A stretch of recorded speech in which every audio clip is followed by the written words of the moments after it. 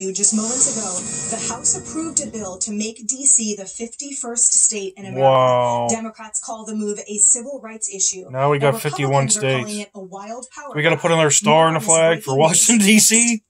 51 states in America. Yay. Other than a pure power grab by the left, what what's the real rationale for this?